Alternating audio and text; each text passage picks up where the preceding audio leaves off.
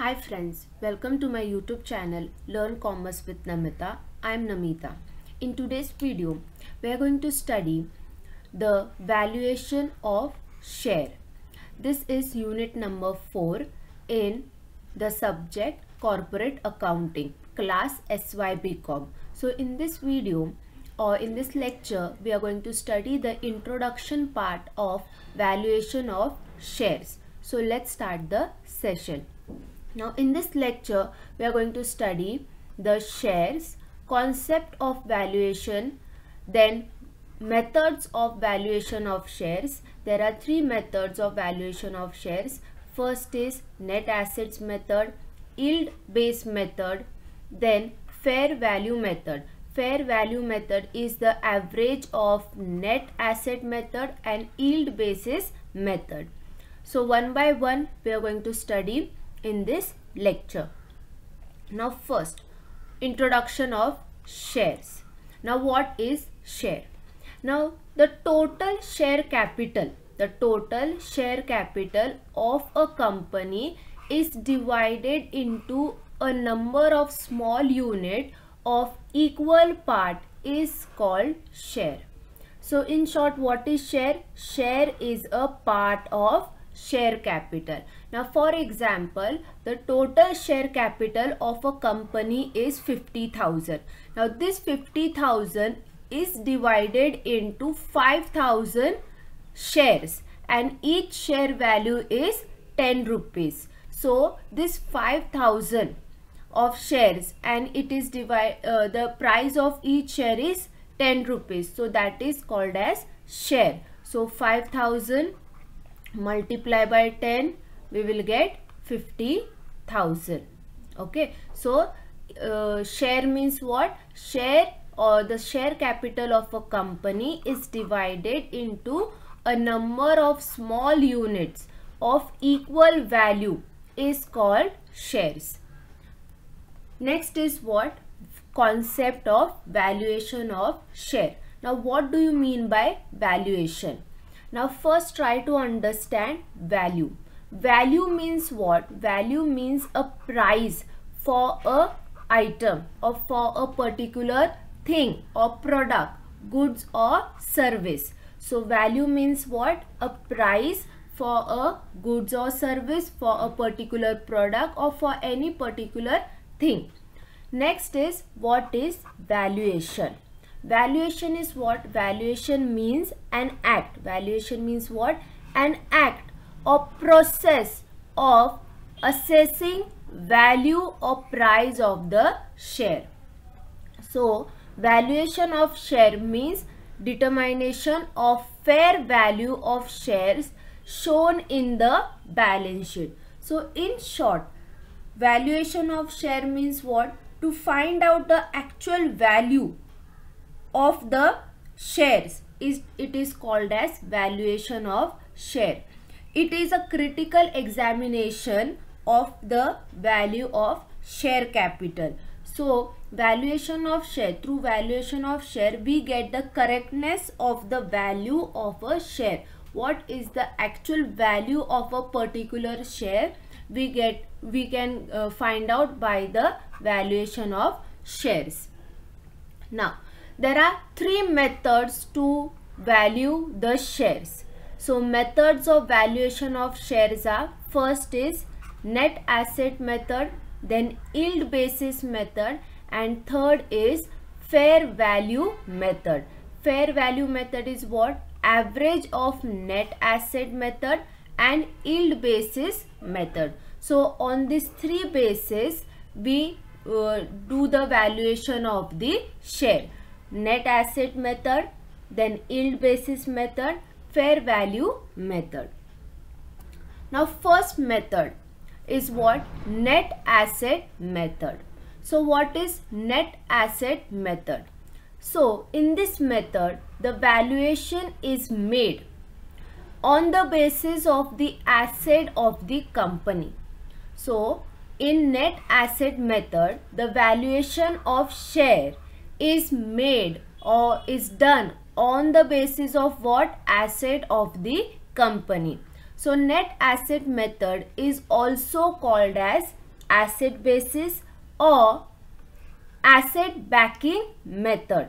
Net asset method is also called as what? Asset basis or asset backing method. Next point is the shares are valued. Okay, in net asset method, the shares are valued on the basis of real internal value. It is valued on what? On the basis of real internal value of the asset of the company. Hence, it is termed as Hence, it is termed as intrinsic value method or real value basis method. Now, there are steps to calculate net asset method. Now, there are total three steps which you have to follow to calculate or in order to get net asset method. First is computation of total net asset. Second step is computation of funds available for equity shareholders and third is computation of intrinsic value of each equity share. So three steps you have to follow in order to get net asset method. So Steps to calculate net asset method. First step is computation of what? Total asset. So you have to calculate all the net assets. So how you will calculate? Total assets. So this total asset should be what? Revalued value. Okay. All the assets should be revalued. Less total outside liabilities except what capital and reserve even include the debentures also so total asset these assets are revalued less total of outside liabilities. We will get what? Total net asset. After getting total net asset second step is computation means calculation of funds available for equity shareholders. So, how to find computation of funds available for equity shareholders? Total net asset which we got in step 1 less preference share capital. So, total net asset minus preference share capital we will get funds available for equity shareholders. Okay.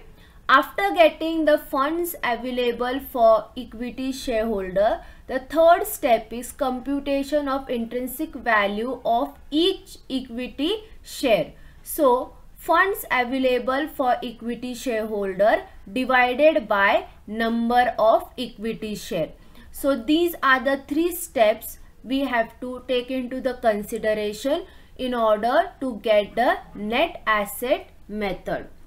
I will repeat again. First step is to calculate total net asset. Whatever value we get in the total net asset, less it with preference share capital which we will get the funds available for equity share uh, holders. After getting funds available for equity share uh, holders divided by number of equity shares, we will get intrinsic value of each equity share. So, you know, in this way we can get the net asset method. Now, next uh, method is what? Yield basis method. Okay, yield basis method. Now, yield basis method is calculated on two bases. First is on profit basis and second is on dividend basis. In usually in examination uh, yield basis method is calculated on profit basis okay? So in uh, on the basis of profit basis yield basis is calculated in four steps. So first step is computation of average accepted future profit. Second step is computation of maintainable profit. Third step is computation of capitalized value of maintainable profit. Fourth step is computation of yield value of each equity shares. So in these four steps we can get the yield me uh, basis method. So first step is what? Computation of average accepted future value. So how to find the average accepted future value by total profit divided by number of years. Second, after getting the average accepted future profit, second step is what? Calculate maintainable profit. So, maintainable profit is calculated by average profit less percentage transfer to reserve is equals to what we get maintainable profit.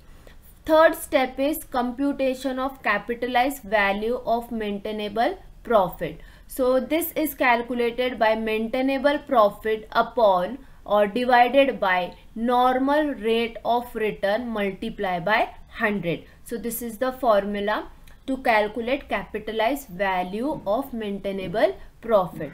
Fourth step is computation of yield value of equity shares. So this is uh, to find yield value of equity shares we use this formula that is capitalized value of profit divided by number of equity shares. So in this four steps the yield me base method is basis method is calculated. Now last method is fair value method. So to cal steps to calculate fair value method so the fair value method is very uh, simple it is what? It is the average of net asset method and yield basis method. So the formula is intrinsic value plus yield value divided by 2 so in order to find the fair value method first of all you have to find the uh, net asset method and then find yield basis method. Then add both the values and divided by 2 that is what? Average of net asset method and yield basis method. So in examination either they will ask you to find only net asset method. So if in examination they have asked to calculate only net uh, means uh, net asset method so you will follow these three steps. And if in exam or in example they have asked find the valuation of shares by yield basis method you will only follow this four steps. And if in examination they have asked you to find the valuation of shares by fair value method. So in fair value method you have to first find the net asset method then second find the yield based method and then last you will get the fair value by taking the average of both the methods. Okay so in this are the methods of valuation of shares. Thank you for watching. If you like this video, please subscribe my YouTube channel, like the video and do not forget to press the bell icon to get the latest notification. Thank you.